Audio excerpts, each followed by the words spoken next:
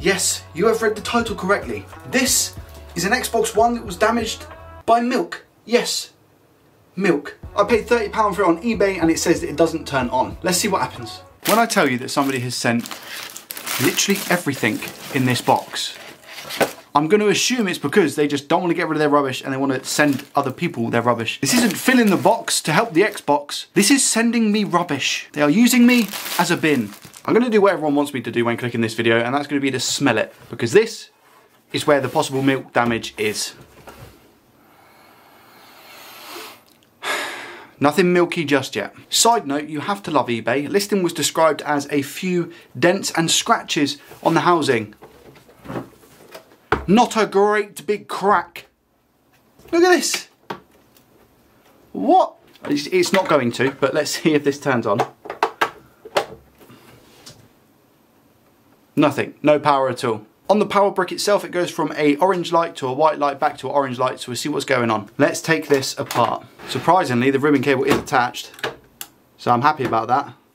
All right, disconnected. Let's see what the damage is. Ah! On the face of it, do you know what? It doesn't even look that bad. Maybe there's a little bit of milk damage here, but we'll go a little bit further. Looking at it from a perspective that I've just opened the case, it looks dusty in certain areas, but they're very specific areas. So I think somebody has been onto this board and cleaned it. There seems to be like a like a scratch mark around here of dust um, that actually doesn't come off that easy. So whether or not that's damaged anything, I have no idea. But all in all, the console is relatively clean with little areas full of dust that I think they might have just missed. Let me take out the next layer. Someone's definitely been in here because the two screws up here and the two screws down here are not in place. I've just taken the hard drive out. I'm going to test it on my PC. I don't think this is going to stop the console from actually turning on, but I'm just going to check it real quick. If it was turning on, then turning off straight away, it could be a hard drive issue. Yep, I've just checked. This is showing up on my PC with all the correct partitions, so it should be okay. And I can see they've actually replaced recently the thermal paste. That is like some green Ghostbuster thermal paste that I've never seen in my entire life. In the other circumstances with uh, dead Xbox Ones where they've just not turned on,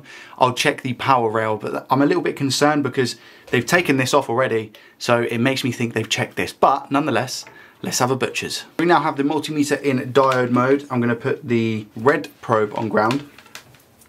And what we're looking for on each of these MOSFETs down on the power rail, down here on the side, on the gate of them, we're looking for around about 0.6 volts on the multimeter. So I'm just gonna go through real quick.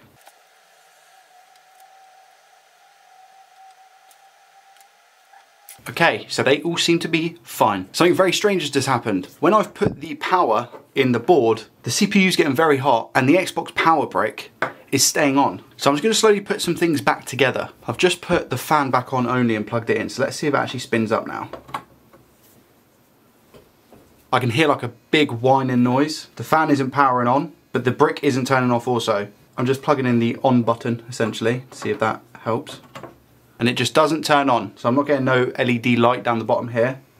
The Xbox just isn't starting up. I'm going to pause this right now and just say that, yes, I was pressing the LED light instead of the on button. That happens a couple times throughout this video. Please forgive me. But the power brick is now behaving differently. That's what's weird about this.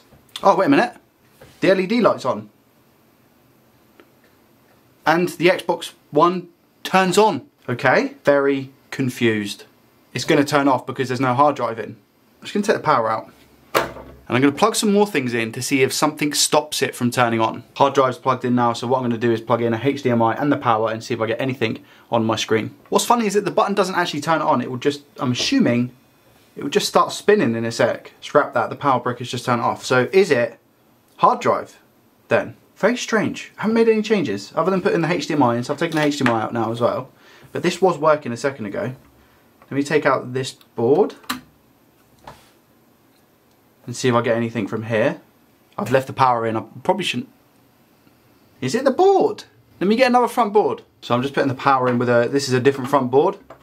This one that I've got here is a different front board. So I'm just testing with this now. I'm getting that same buzzing noise. The brick is on, but the Xbox itself hasn't turned on. And I'm pressing the button and the Xbox isn't turning on. Because you're not pressing the button. So I've just put the hard drive back in, this is on, the cable's in, but I've still got nothing. Now I know it sounds strange, but there does look to be, in here, a little bit of a milky pin. You see this one? Third in, fourth in maybe, maybe fourth.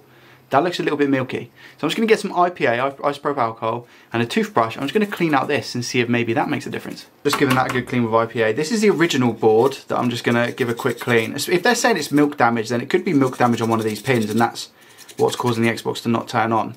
Everything else seems fine. The CPU gets hot. The fan spins when the Xbox actually turns on. So I feel like if we could just get this fixed, that'd be a win. I've just pressed on the, like where the eject bit is for the ribbon cable. And that seems to turn it on. So we have power. Now what I'm going to do really quickly is just plug in the HDMI and see if I get anything on the screen. But it's also not got an OS to boot into, so let me plug in the hard drive again. And there we have it. We also have picture. I know it looks very dodgy to you guys at the moment, but it actually turns on. I feel like cleaning the area that we did has fixed it. I'm including this because I was testing with the known good front board. So I'm just going to test with the faulty one that came with the console and make sure. Yeah, it's turning the Xbox on. You can see from the LED light and the fan should spin in three, two, Alright, you caught me off guard a little bit, but yeah, so that works as well, the faulty one that came with the Xbox. I'm going to put it back together, I'm going to test it with the case intact, with the ribbon cable, etc. And if the ribbon cable works, it turns the console on, I'll take it apart and give it a good old clean, better than what it is at the moment, replace that weird thermal paste, and then put it back together and see if it works. This is the front panel of the faulty one. Again, you can see here there is like another milk-like substance, so again, I will give this a clean, but let's test and see if it works. Okay, here's the Bosch setup, so I'm just going to plug in again, the HDMI, and the power, Actually, before I turn it on, should have done this at the start really. Should have plugged in the little speaker so you guys could hear when it was turned on or not. Let's see if it will turn on. Three, two, one. No. So I think this front panel is damaged. If I push on the actual connector itself, it will turn on. Interesting, okay. Got myself here a different front panel connector, so let's try that. Let's plug in the speaker. Three, two, one. The LED light is on down here. The machine's spinning up and I have now noticed, please don't hate me, but this was an issue from before.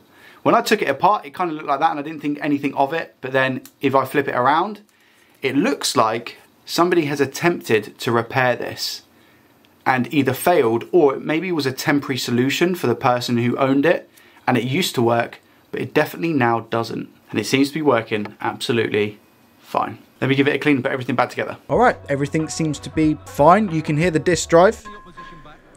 That unfortunately didn't have any bonus discs, but that's it for today's video, guys. If you enjoyed it, make sure you hit the thumbs up button, and I will see you in the next one. Make sure you have a good rest of your weekend as well. Ciao for now, and peace.